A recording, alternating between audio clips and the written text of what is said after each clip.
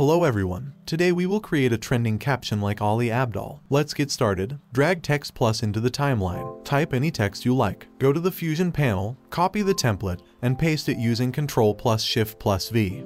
Disconnect the template from Media Out and connect it with the instance template. Then, connect the Merge node with Media Out. Select the instance template, go to the shading menu, de-instance two elements, disable the checkbox, choose the fourth element, de-instance it, and enable the checkbox. Scroll down, select level, choose line, extend the horizontal line a bit, and increase the roundness slightly. Select color and choose light gray. Select the template, go to the shading option, choose color, and select black. Copy the template again and paste it as an instance template. Select this template, go to the shading option, select the first element, repeat the previous steps, de-instance the element, and disable the checkbox.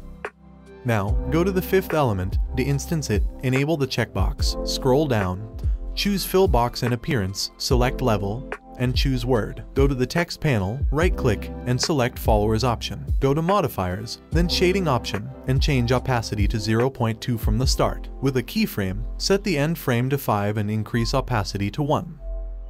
Go to timing, select delay type, choose between first and last character.